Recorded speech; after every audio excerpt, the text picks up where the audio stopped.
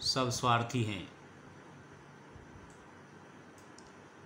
यहाँ कोई सुधार करना नहीं चाहता है। यहाँ कोई विचार करना नहीं चाहता है। यहाँ कोई उत्थान करना नहीं चाहता है।